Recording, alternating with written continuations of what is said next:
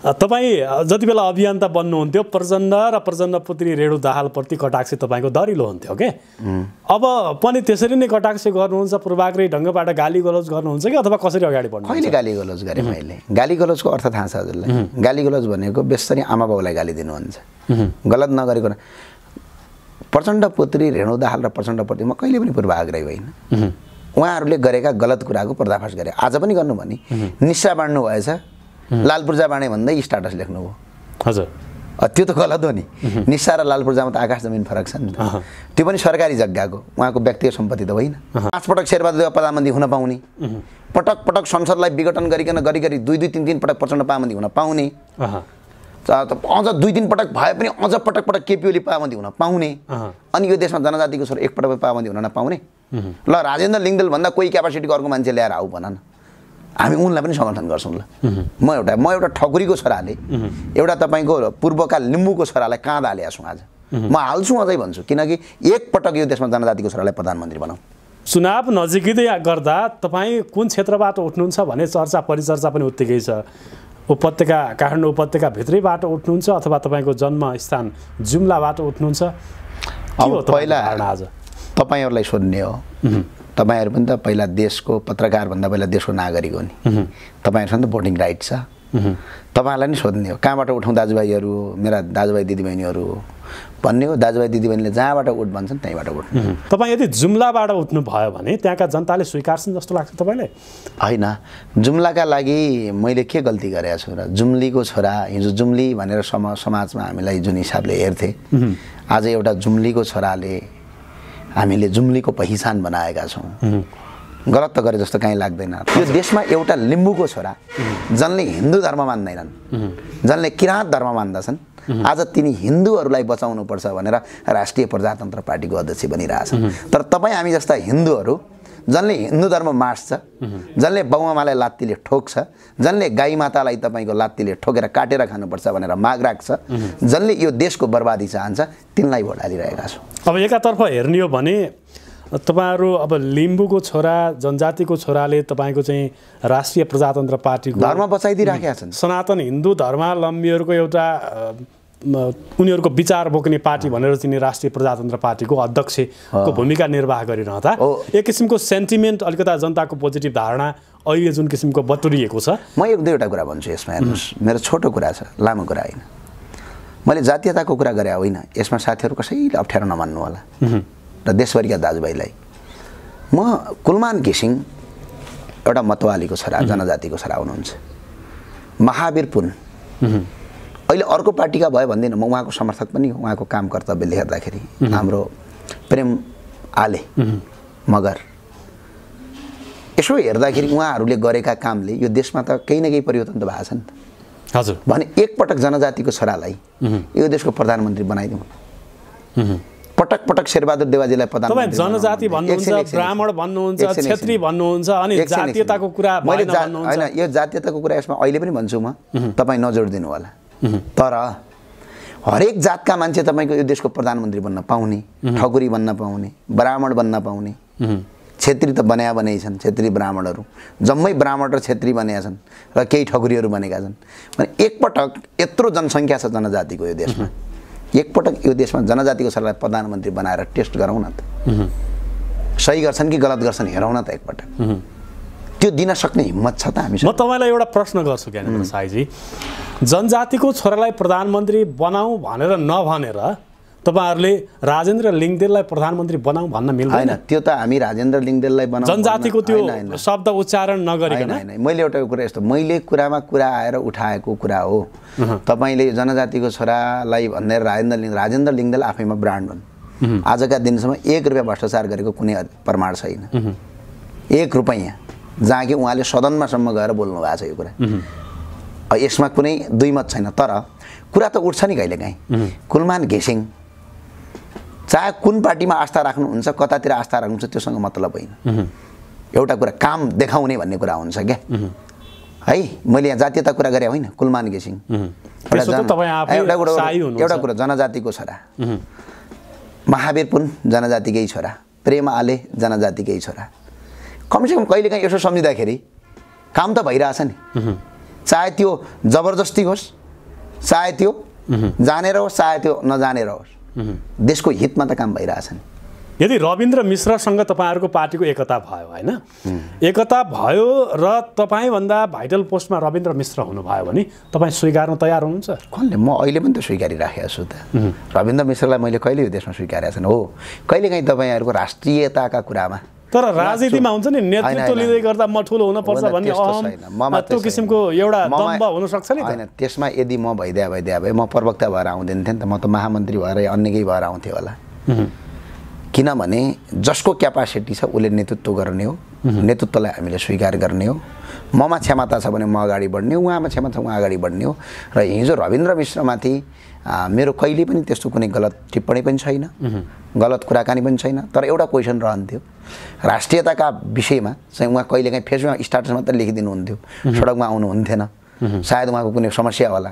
तर अब सडकमा आउनुहोस् अब एजेन्डा अब हिजोसम्म राज संस्था थियो विभिन्न राजतन्त्रका इतिहासका कालखण्डहरूलाई हामीले हेर्दा राजाले यो देशको विकास गर्न सक्दैनन् भनेर तपाईँ नै भन्नुहुन्थ्यो राजतन्त्र आवश्यक छैन भन्नुहुन्थ्यो तर आज त्यही राजतन्त्रलाई मान्ने अझ भनौँ पूर्व पञ्चहरूको पार्टी राष्ट्रिय प्रजातन्त्र पार्टीमा प्रवक्ता भएर आउनु भएको छ। ठिक छ म पहिला यसको जवाब दिन्छु। हिजो मैले राजाले देश विकास गर्दैनन् राजतन्त्र आवश्यक छैन कहिल्यै पनि भनेको छैन। तपाईँले कुनै पनि भिडियो खोलेर हेर्दा हुन्छ। म मौन बसेको थिएँ। राजा ठिक हुन् कि गलत हुन् भन्ने कुरा चाहिँ राजालाई छोडिदिनुहोस् भन्ने विषयवस्तु र आज पनि त्यो राजालाई नै छोडिदिनुहोस् भन्ने विषयवस्तु।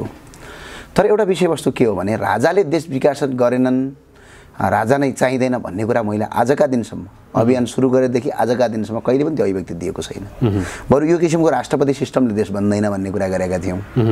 त्यो भन्नेले बजारमा भन्नेले के भने त्यो कुरा अर्को विषयवस्तु हो तर मेरो मुखबाट मैले भनेको छैन।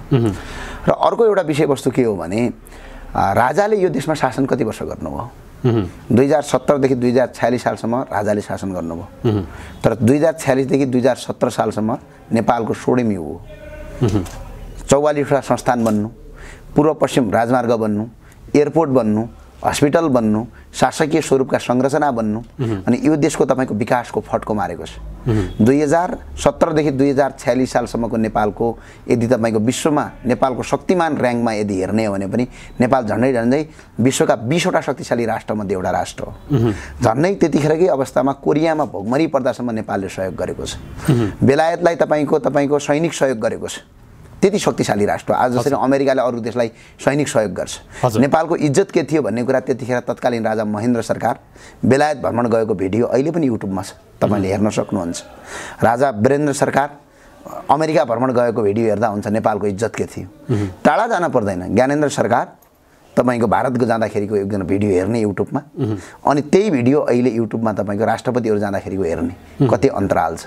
किनभने शक्तिमान नेपाल थियो तपाईँ आज त आज त राष्ट्रिय प्रजातन्त्र पार्टीको प्रवक्ता हुनुभयो। राप्रपाप्रति तपाईँको लगाव छ।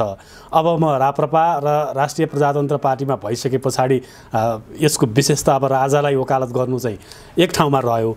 हिजोसम्म राजाप्रति मान्छेहरूले तपाईँलाई प्रश्न गरिरहँदा त राजावादी होस् अथवा तपाईँ राजावादी हो भनेर भनिरहँदा तपाईँले त्यो सकारात्मक मनोभावना चाहिँ जागृत गरेको होइन है? यो कुरा चाहिँ साँचो। होइन राजावादी हो भन्दा आज पनि म राजावादी होइन भन्छु त। राजावादी र राज संस्था मान्नु फरक कुरा हो।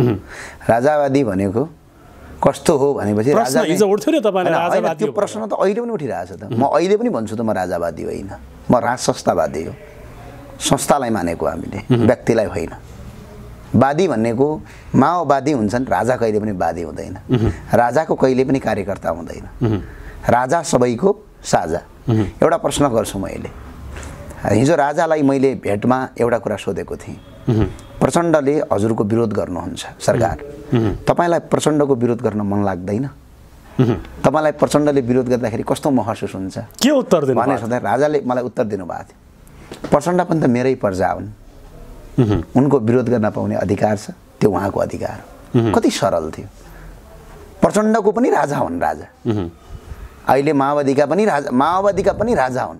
राजा के हो? सबैको साझा हो। राजा न त ज्ञानेन्द्र साईको न त राप्रपाको न त कङ्ग्रेसको न त माओवादी न त एमाले। राजा कसैको हुँदैन। राजा सबैको साझा हुन्छ। वादी भनेको पार्टी हुन्छन्। कहिले पनि राजा वादी भन्ने हुँदैन। हजुर। किनभने वादी त व्यक्तिको आँटमा र एउटा कुनै पार्टीको आँटमा हुने कुरा हो। राजा त काङ्ग्रेसको पनि राजा हो माओवादीको पनि राजा हो एमालेको पनि राजा हो। हिजो यिनै कम्युनिस्ट मा माधव नेपालहरूले राजा मानेका थिएनन् र। यिनै प्रचण्ड हिजो आज जति ठुला कुरा गरे पनि राजालाई श्रीपाँच सरकारको भन्दाखेरि त्यही स्कुलमा पढ्नु भएको होइन र। त्यही श्रीपाँचको सरकारले बनाएको बाटोमा गुड्नु भएको होइन र।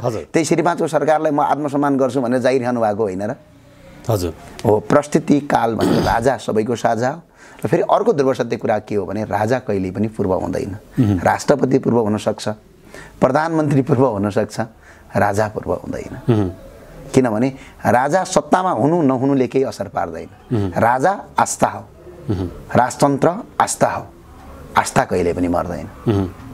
तपाईँहरू तपाईँहरू राजा सेरोमोनियल राजा हुनुपर्छ भनेर हामी हामीले अहिले के एउटा राष्ट्रिय प्रजातन्त्र पार्टीको अहिले माग के हो भने संविधानभित्र बस्ने संवैधानिक राजा संसदले निर्णय गर्ने।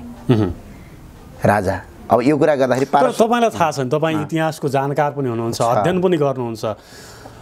तपाईँ राणा शासनलाई च्युत गर्ने आन्दोलनदेखि लिएर आजसम्म आइपुग्दा नेपालका राजनीतिक आन्दोलनहरूलाई इतिहासलाई गौण रूपमा अध्ययन गर्ने हो भने निहाल्ने हो भने देशमा गणतन्त्रको लागि आन्दोलन भएको त गणतन्त्र र परिवर्तनको लागि आन्दोलन भएको नेपाली जनताले गरेको नि आज फेरि तिनी राजालाई इस्टाब्लिस गर्ने कुरा गर्दै हुनुहुन्छ तपाईँ। होइन परिवर्तन भने के हो पहिला कुरो परिवर्तन भनेको त व्यक्ति परिवर्तन हुने कुरा त होइन नागरिकको स्वतन्त्रताका लागि नागरिकको लोकतान्त्रिक अधिकारका लागि।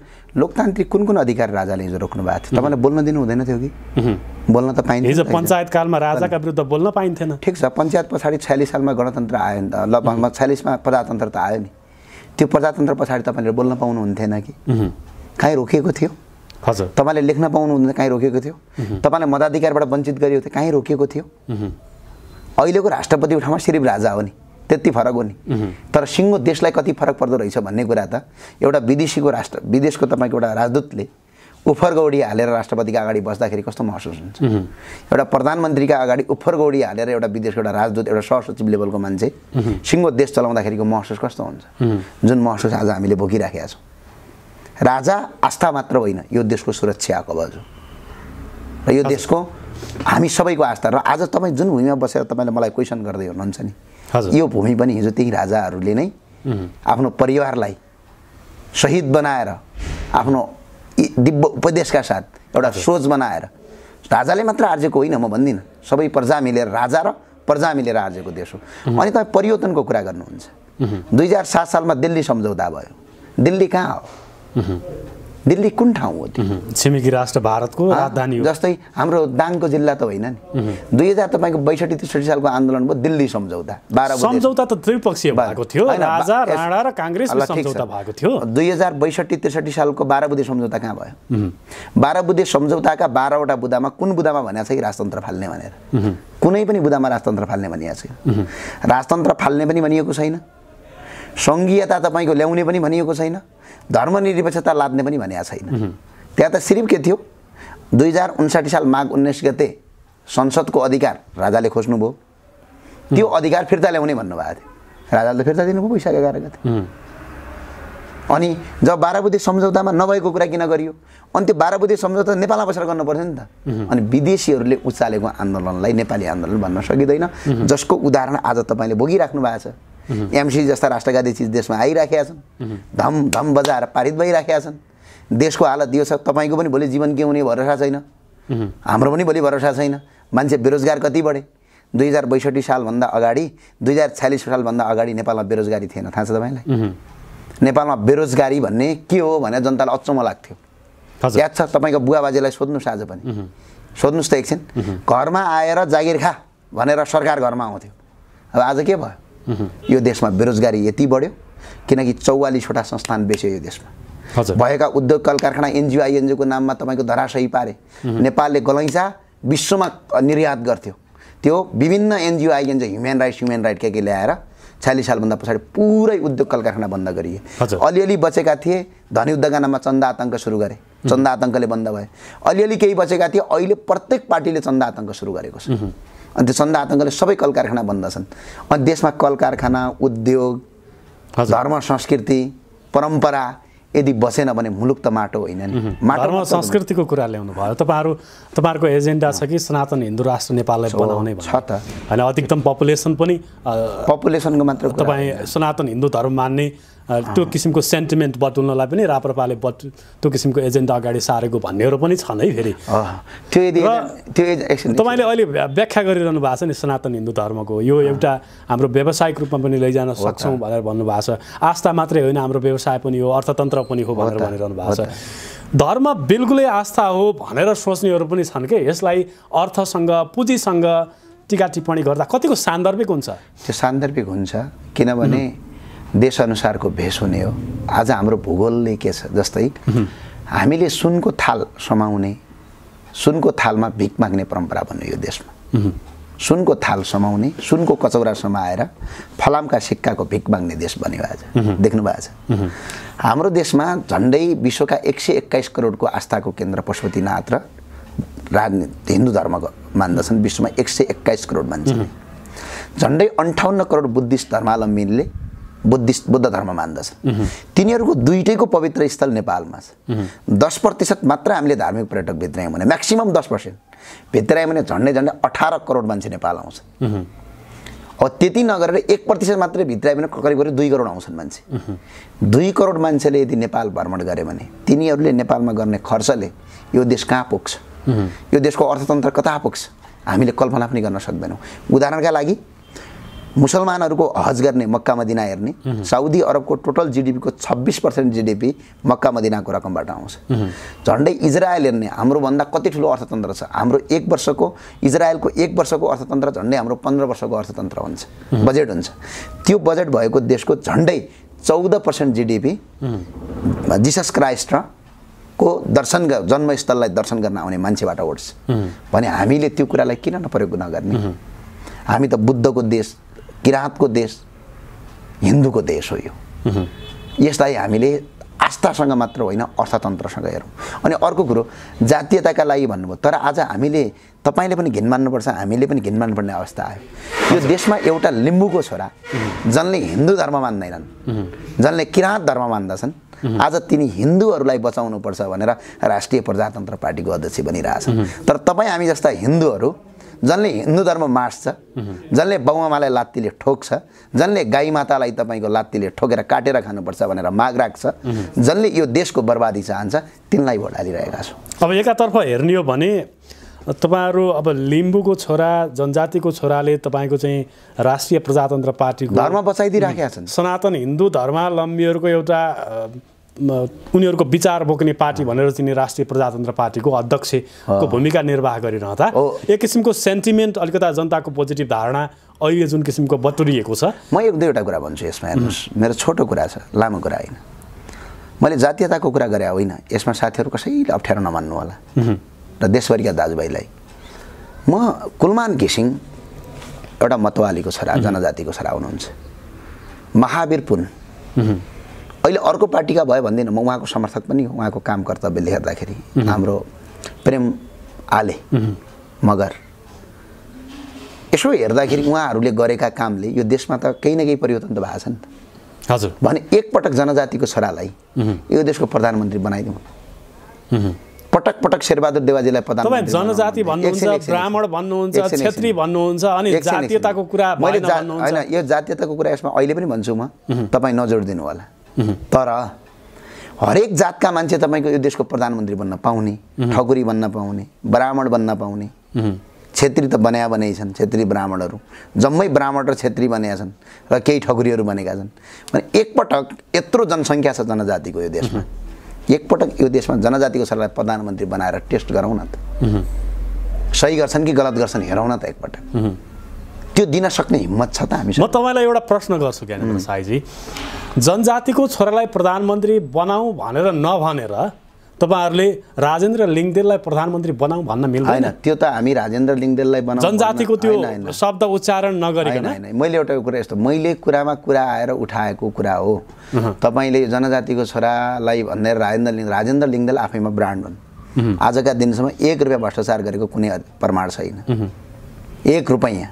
जहाँ कि उहाँले सदनमासम्म गएर बोल्नु भएको छ यो कुरा। यसमा कुनै दुई मत छैन तर कुरा त उठ्छ नि कहिलेकाहीँ कुलमान घिसिङ चाहे कुन पार्टीमा आस्था राख्नुहुन्छ कतातिर आस्था राख्नुहुन्छ त्योसँग मतलब होइन। एउटा कुरा काम देखाउने भन्ने कुरा हुन्छ क्या। है मैले यहाँ जातीयता कुरा गरेँ होइन कुलमान घिसिङ एउटा कुरो। एउटा कुरो जनजातिको छोरा। महावीर पुन जनजातिकै छोरा। प्रेम आले जनजातिकै छोरा। कमसेकम कहिलेकाहीँ यसो सम्झिँदाखेरि काम त भइरहेछ नि। चाहे त्यो जबरजस्ती होस् चाहे त्यो जानेर होस् चाहे त्यो नजानेर होस् देशको हितमा त काम भइरहेछ नि। भने एकपटक दिउँ न त त्यति हिम्मत गर्दैनौँ हामी। खुब जात जातिको कुरा उठाउँछौँ। म अरूलाई पनि क्वेसन गर्छु। जातीयताका विरुद्धमा भनेर हिजो हतियार उठाएका होइनन्। जनजातिहरू पिछडित वर्गहरू दलितहरू पछाडि परे भनेर हतियार उठाएका होइनन्। हजुर। ती हतियार उठाउनेले आफ्नो पार्टीको अध्यक्ष कुनै जनजातिको छोरालाई बनाउन सक्ने हिम्मत छ। या पिछडित र दलितको छोरालाई बनाउने अधिकार हिम्मत राख्छन् राख्दैनन्। तर जसले हतियार नउठाएर स्वतन्त्र रूपमा यो मुलुक चाहिन्छ भनेर आज तिनैले जनजातिको छोरालाई यो अध्यक्ष बनाएका छन्। म ती जो जाति जन जसले जनजाति पिछडित भए जो दलित पिछडित भए पिछडित वर्ग पछाडि भयो भने जसले राजनीति गरिरहेछन् हामीले त गरेका छैनौँ। उनीहरूलाई एउटा ठुलो एउटा सजेस्ट हो। खै त आज? म त अरू टाढाको कुरा गर्दिनँ। अब कुनै पनि कुनै पनि राजनीतिक दलमा अध्यक्ष हुन त्यसको नेतृत्व लिन त्यसका आफ्नै विधि र पद्धति हुन्छन् त्यसका आफ्नै। सिस्टम हुन्छन्। अब राजेन्द्र लिङ्गदेल स्वयं महाधिवेशन लडेर अध्यक्ष हुनुभएको छ। काङ्ग्रेसमा पनि त्यो खुला छुट छ। एमालेमा पनि छुट छ। खै त सपोर्ट समर्थन गरेको खै त? खै त भोट हालेको? काङ्ग्रेसमा पनि त लडेका थिए मान्छे। त्यो त आफ्नो व्यक्तिको खुबीको कुरा होइन अनि त्यसो भने माओवादीमा त भोट हुँदैन त। मैले अर्को कुरा गरिनँ। त्यहाँ त टिको लाएर बनाउने हो त। के प्रचण्डज्यूसँग हिम्मत छ त? नेपालमा सबभन्दा बढी जात जातिको राजनीति गर्ने र जनजातिको हितको मसिया आउँ भन्ने प्रचण्ड होइनन्। प्रचण्डको पार्टीमा त चुनाव हुँदैन। के प्रचण्डको पार्टीमा सुदन किराँतीलाई पार्टी अध्यक्ष बनाउन सक्ने हिम्मत राख्दछन्। के प्रचण्डले कुनै जात दलितको छोरालाई त्यो पार्टीको अध्यक्ष बनाउने हैसियत राख्दछन्? उनी सामान्य कार्यकर्ता भएर सक्दैनन्। त्यो भएरले कारण के हो भने कुरा चाहिँ जातको मात्र उठाउने कुरा जातीयता गरेर सेन्टिमेन्टल बटुल्ने। तर त्यही जातमाथि बसेर शासन गर्ने। अब दिन गए। एक दिन विचार गर्नेले चाहिँ विचार गरून् भन्ने हो। भनेपछि किन नहुने? म एउटा म एउटा ठकुरीको छोराले एउटा तपाईँको पूर्वका लिम्बूको छोरालाई काँध हालेको छु आज। म हाल्छु अझै भन्छु किनकि एकपटक यो देशमा जनजातिको छोरालाई प्रधानमन्त्री बनाऊ। बनाऊ न के हुन्छ? पाँच पटक शेरबहादुर प्रधानमन्त्री हुन पाउने। पटक पटक संसदलाई विघटन गरिकन घरि घरि दुई दुई तिन तिन पटक प्रचण्ड प्रधानमन्त्री हुन पाउने। अझ दुई तिन पटक भए पनि अझ पटक पटक केपी ओली पाबन्दी हुन पाउने। अनि यो देशमा जनजातिको छोरा एकपटक पाबन्दी हुन नपाउने। ल राजेन्द्र लिङ्गदेल भन्दा कोही क्यापासिटीको अर्को मान्छे ल्याएर आऊ भन न हामी उनलाई पनि समर्थन गर्छौँ ल। छैन नि त कोही। भने एउटा जनजातिको छोरालाई समर्थन गरौँ न एकपटक। हेरौँ न दिउँ न। टेस्ट त गरौँ। हामीले कुलमाल घिसिङ टेस्ट गऱ्यौँ नि। हामी सफल भयौँ। कुलमान घिसिङ भन्दा नि अगाडि कोही त थिए त महाप्रबन्धकहरू। हामी सफल भयौँ। महावीर पुनभन्दा अगाडि पनि त कोही थिए। महावीर पुन सफल भयौँ। प्रेमाले भन्दा अगाडि कोही मन्त्री त थिए नि। नभएका त होइनन्। हामी त्यहाँ पनि टेस्ट गऱ्यौँ नि। हामी त्यहाँ फेल भयौँ। प्रेमालेका अहिलेका एक्टिभिटिजले हामी सफल भएको। भनेपछि एकपटक यो देशको प्रधानमन्त्री दिन सक्ने हिम्मत हामी राख्दैनौँ। हामी समावेशीको कुरा गर्छौँ। बडा महाराज धीरज पिचरण शाहले भन्नुभएको एउटा कन्सेप्ट सुन्नुभएको छ। चार बडा छत्तिस जातको फुलबारी हो भन्नुभएको छ। र हिजै पञ्चायतको खुब विरोध हुन्छ आज। त्यही पञ्चायतमा एकजना दलितलाई शिक्षा मन्त्री बनाएर राष्ट्रगानामा सम्बोधन गर्न लगाइएको थियो त्यो आजका दिनसम्म कसैले सम्बोधन गर्ने एकजना सहायक मन्त्रीले देशका नाममा सम्बोधन गर्न लगाए महेन्द्रले। आज पनि तपाईँको जातीय छुवाछुत भयो भने कुन मुद्दा चल्छ हजुर? जातीय छुवाछुत विरुद्धको एन दुई हजार एक्काइस चल्छ आज पनि। त्यो कसले बनाएको? दुई हजार एक्काइसमा त राजा महेन्द्र सरकारले बनाउनु भएको होइन। खै त यहाँ प्रचण्डजीले पनि बनाएको होइन शेरबहादुरजीले बनाएको होइन अनि के तपाईँको जातीयताको कुरा र उन्मूलन गऱ्यौँ भन्नु? सिर्फ ढाल बनाएर हतियार बनाएर उनलाई प्रयोग गरे। जनजातिका सबै दाजुभाइलाई मेरो आग्रह छ एकपटक बनाएर हेरौँ। एकपटक बनाएर हेरौँ। फेल भयो भने चेन्ज गरौँला त फेरि के जान्छ? साईजी अब तपाईँ जति बेला युवा अझै पनि युवा हुनुहुन्छ तिस वर्षको हुनुहुन्छ। नेपालमा त अझ अरू अरू अरू पार्टीमा त साठी सत्तरी वर्षको उमेरसम्म पनि युवा नेता भनेर भन्ने गरिन्छ। तपाईँ युवा एकजना व्यक्ति तपाईँले चार पाँच वर्ष अगाडि जसरी सडकमा भ्रष्टाचार विरुद्धको अभियान भनेर एउटा साहस गरेर एउटा अठोट गरेर तपाईँ आउनुभयो र जस अनुरूप देश विदेशमा ठुलो एउटा युवा जमातले तपाईँप्रति एउटा सहानुभूति प्रकट गर्यो र आजको दिनमा पनि केही जमातले सहानुभूति प्रकट गरिरहेको छ।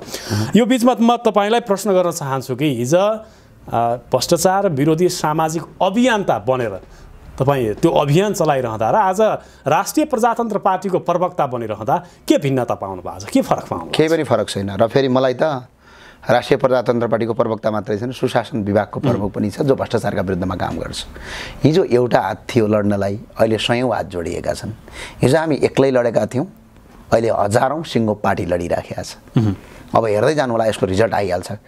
एक दुई महिना वेट गर्नुहोस् न केही न केही रिजल्ट आउँछ। त्यसपछि बहस गरौँला र अर्को कुरो अभियन्ता पार्टीमा जान नपाउने म नेपालको नागरिक हो मेरो अधिकार छ। कुनै पनि पार्टीमा गएर राजनीति गर्न पाउने यो क्वेसन तपाईँले मलाई गरिरहँदा म पनि तपाईँलाई क्वेसन गर्न सक्छु नि। हिजो हजुर तपाईँ स्याङ्जातिर हुनुहुन्थ्यो आज चाहिँ पत्रकार किन्न बन्नुभयो। हजुर आज तपाईँ यहाँ हुनुहुन्छ भोलि कुनै अन्य पत्रकार पत्रकारिता छोडेर तपाईँ अन्य व्यवसाय गर्न सक्नुहुन्छ। हो हजुर तपाईँ हिजो पत्रकार हुनुहुन्थ्यो आज व्यवसाय किन गर्नुभयो? यो क्वेसन आफैमा आफै हो। तर मान्छेलाई त्यो अधिकार तर मैले व्यवसाय व्यवसायीहरूको आलोचना गरेको छैन। तपाईँले त हिजो राजनीतिक कर्मीहरूको कार्यकर्ताहरूको। आलोचना पनि झोले। कार्यकर्ता भयो भनेर त, भन्नु अहिले पनि भन्छु त झोले कार्यकर्ता आज पनि छन्। झोले भने कस्तो थाहा छ? नेतृत्वले गलत। बिबिकै शब्द हो। मेरो शब्द होइन।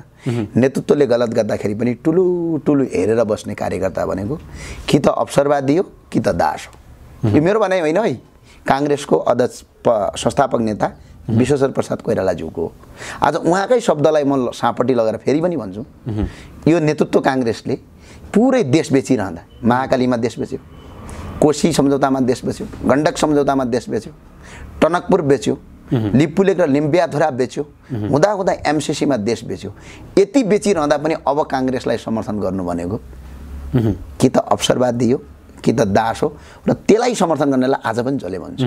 आज पनि राष्ट्रिय प्रजातन्त्र पार्टीमा यदि कसैले गलत काम गरेको छ भने त्यो गलत कामले मैले स्वीकारेँ भने म झोले हो क्या गलत कामको मैले विरोध गर्न सक्यो भने म झोले होइन। आज तपाईँ राजनीतिक पार्टीमा आउँदै गर्दा झोले होइन त्यसो भए? होइन झोले राजनीतिक पार्टीमा होइन झोले भनेको कस्तो हो भनेपछि जनले नेतृत्वले जति गलत गर्दाखेरि पनि सही हो भनेर थापेर हिँड्छ क्या त्यो प्रवृत्ति त एउटा सिङ्गै कुनै एउटा पार्टीमा छैन नि। नेपालका हरेक पार्टीमा छ। ए राष्ट्रिय प्रजातन्त्र पार्टीमा पनि त छन् नि त राष्ट्रिय। प्रजातन्त्र पार्टीले भोलि त्यही किसिमको क्रियाकलाप अहिले गलत क्रियाकलाप दलका क्रियाकलाप नेताहरूले गरेको क्रियाकलाप मेरो त्यस्तै विरोध गर्यो भने मेरो विरोध रहन्छ। त्यति बेला तपाईँ म झोले अहिले भन्नुहुन्न म बन्दिनँ आज भीमरावल झोले छैनन् नि। नेकपा एमाले यत्रो राष्ट्रघात गरिरहँदाखेरि पनि भीमरावल त विरुद्धमै हुनुहुन्छ नि। अनि के मैले भीमरावललाई झोले भन्न मिल्छ? मिल्दैन। राष्ट्रवादी छोरो भन्न मिल्छ। हो त्यस्तो। हामीबाट पनि भोलि पार्टीले गलत गर्छ भने विरुद्ध सुरु हुन्छ। हामी कुनै यहाँ व्यक्ति बन्न र कसैको दास बन्न आएको होइन सिङ्गो देश र मुलुक बनाउन आएको। मुलुकको अहितमा काम कुनै पार्टीले मात्र होइन कुनै दलले मात्र होइन कुनै व्यक्तिले गरे पनि त्यसको विरुद्धमा गइन्छ। तपाईँहरूको जस्तै एउटा विचार बोक्ने पार्टी जसको नेतृत्व रविन्द्र मिश्रले गर्नुभएको छ। उहाँहरूसँग एकताका कुराहरू पनि बाहिर चर्चामा आउने छन्, गर्छन्। के छ? आज प्रश्न पार्टी खुलाइदिनुहोस्। होइन यहाँ वार्ता टोली बनेको छ। वार्ता टोलीको संयोजकमा धवल शमशेर राणा हुनुहुन्छ। धवल शमशेर राणाज्यूले महामन्त्रीज्यूले वार्ता अगाडि बढाउनु भएको छ। त्यसको रिजल्ट आएपछि हामी तपाईँलाई बताउँछौँ। यदि रविन्द्र मिश्रसँग तपाईँहरूको पार्टीको एकता भयो होइन? एकता भयो र तपाईँभन्दा भाइटल पोस्टमा रविन्द्र मिश्र हुनुभयो भने तपाईँ स्वीकार्न तयार हुनुहुन्छ? कसले? म अहिले पनि त स्वीकारिराखेको छु त। रविन्द्र मिश्रलाई मैले कहिले यो देशमा स्वीकारेको छैन? हो कहिलेकाहीँ तपाईँहरूको राष्ट्रियताका कुरामा तर राजनीतिमा हुन्छ नि नेतृत्व लिँदै। गर्दा म ठुलो हुनुपर्छ भन्ने त्यो किसिमको। एउटा दम्ब हुनसक्छ नि होइन त्यसमा यदि म भइदिया भइदिया भए म प्रवक्ता भएर आउँदैन थिएँ नि त। म त महामन्त्री भएर अन्य केही भएर आउँथेँ होला। किनभने जसको क्यापासिटी छ उसले नेतृत्व गर्ने हो। नेतृत्वलाई हामीले स्वीकार गर्ने हो। ममा क्षमता छ भने म अगाडि बढ्ने हो उहाँमा क्षमता छ उहाँ अगाडि बढ्ने हो।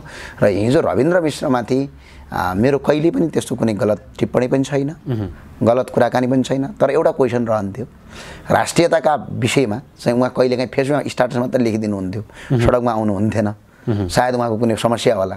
तर अब सडकमा आउनुहोस् अब एजेन्डा अब बहुचर्चित सवाल राष्ट्रिय राजनीतिमा सबैभन्दा चर्को बहस भएको पछिल्लो समयमा एमसिसीको विषयमा रविन्द्र मिश्रको धारणा तपाईँलाई थाहा छ नि?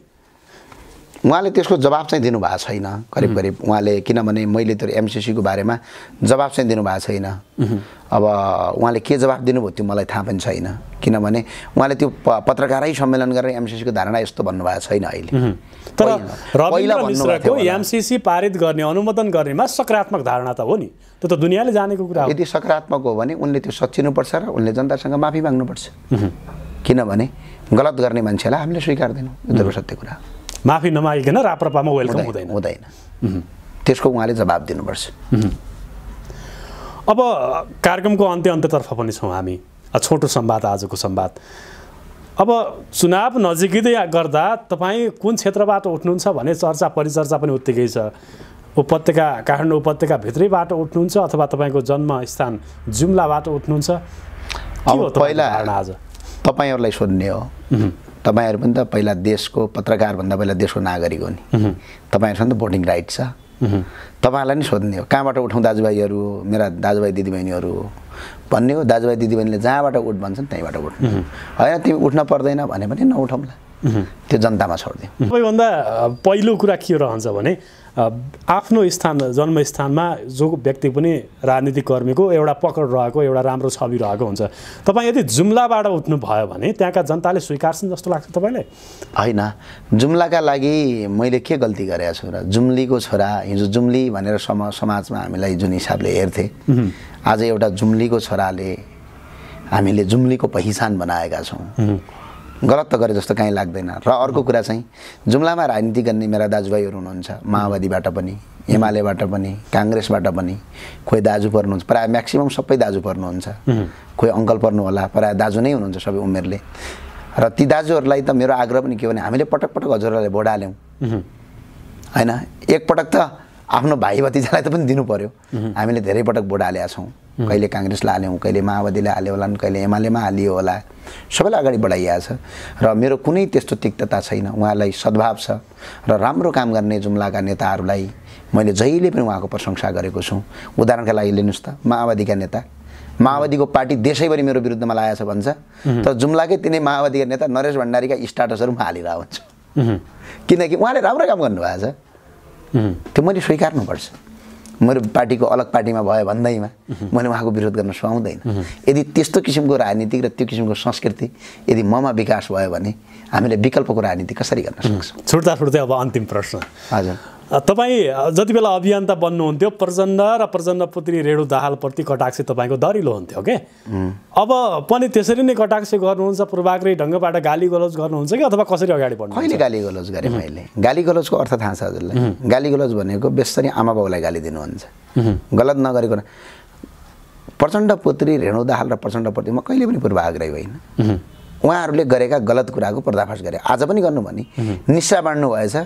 लाल बाँडे भन्दै स्टाटस लेख्नुभयो हजुर त्यो त गलत हो नि निस्सा र लाल पूर्जामा त आकाश जमिन फरक छ नि त त्यो पनि सरकारी जग्गाको उहाँको व्यक्तिगत सम्पत्ति त होइन। हो यस्ता किसिमका गलत प्रचण्ड पुत्री र प्रचण्डको रेणु दाल मात्र होइन कि अन्य कुनैले गरे पनि भोलि राष्ट्रिय प्रजातन्त्र पार्टीभित्रका मान्छेले गरे पनि उनको विरोध गरिन्छ तपाईँको भाषणलाई लिएर गगन थापाले अहिलेसम्म जति पनि विकास गरेका छौँ विदेशी अनुदान सहयोगै लिएर गरेका छौँ भनेर पनि तपाईँको थोरै पोइन्टमा उत्तर दिनुभएको थियो मण्डले भनेर पनि जोड्नु भएको थियो तपाईँलाई।